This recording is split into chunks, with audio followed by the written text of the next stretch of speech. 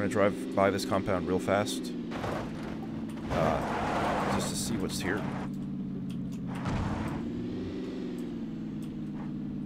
See any movement? Fuck me.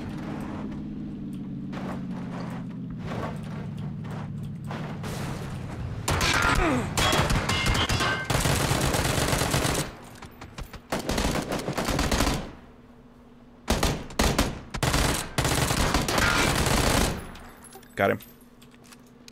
Oh, fucking you died.